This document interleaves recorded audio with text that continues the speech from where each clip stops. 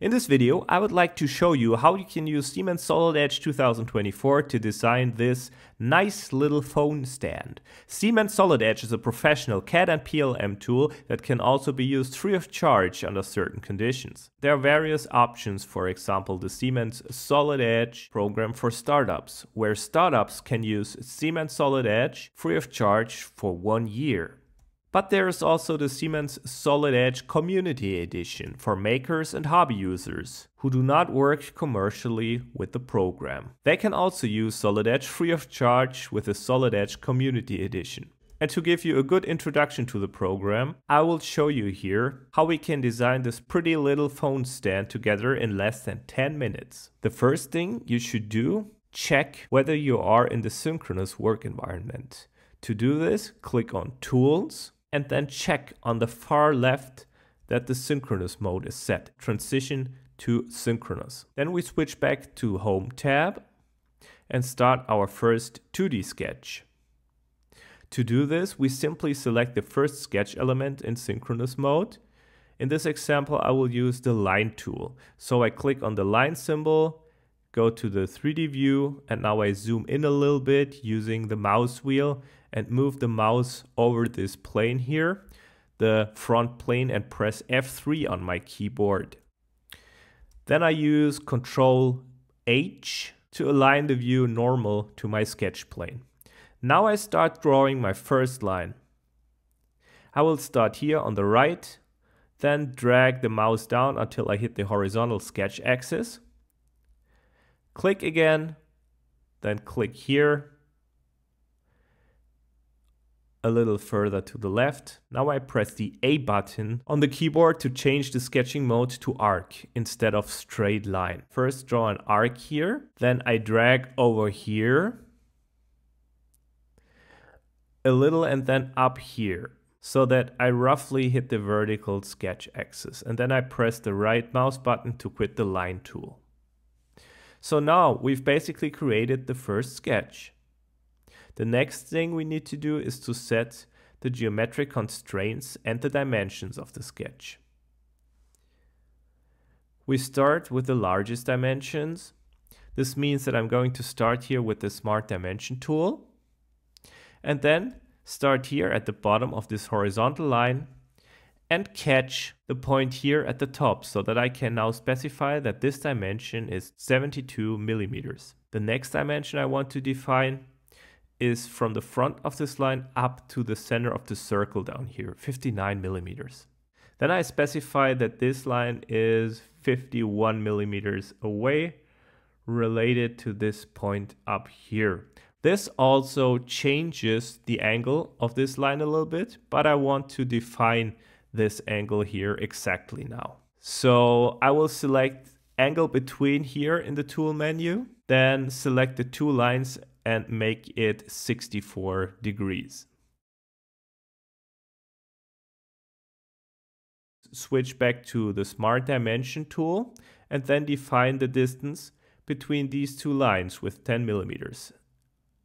And the line here in the front will be set to a length of 11 millimeters. Next, we will do the edge fillet. So we click here on the fillet tool and select these two lines. Then enter a smart dimension here of 11 millimeters. And now we use the horizontal vertical constraint to set this endpoint here on the top to a vertical constraint using the sketch origin. Now it's time to set an offset to the complete line here. We select symmetric offset. Now we have to make sure that we have the correct values with 6 millimeters, radius 3 millimeters. Under Cap type, we set it to arc here, press OK. Now we select the line and click on accept. And now our offset is set, which we can now use for an extrusion. This means that we can now simply select this closed surface here and then simply drag it here. I will enter 64 millimeters. I can make the sketch invisible, just like the PMI here and also the base in the Pathfinder. And then our nice little phone stand is almost finished. The last thing I want to do, I want to add a chamfer to the outer edge of my part, one millimeter, and we are finished right now. This means that the next thing we need to do is to export the geometry. This is also very easy in Solid Edge. We click here at the top on Save As and then select Step Document here. Click on Options. I will make sure that I use the latest version of Step and OK and Save. In the slicer software, I'm currently using Bambu Studio. We can see that we have exported a very high quality 3D model here. There are no ugly edges or corners here in the 3D model. It's a clean surface. We place it on this surface, yeah, and then we can start slicing. As you can see, we have now sliced the cell phone stand. It is time to send it to the 3D printer and now happy printing. The great strength of Solid Edge, besides the great modeling tools, is the so-called synchronous modeling.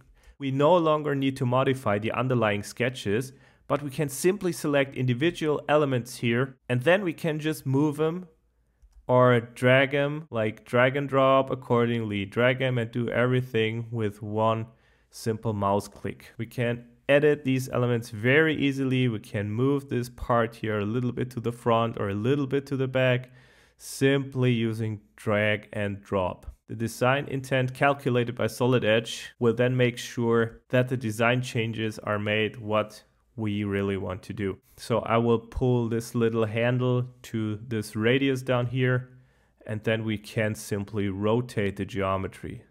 So super easy, we can make it a little bit steeper or flatter. And of course, this is not only an option for models created here in Solid Edge, but also works great with imported geometry. This means that if you have external geometry, from other CAD programs or from the internet somewhere, then you can also use synchronous modeling here and you can easily make changes by using drag and drop. So I hope you could take something from this video. Have fun with Solid Edge and see you soon. Goodbye.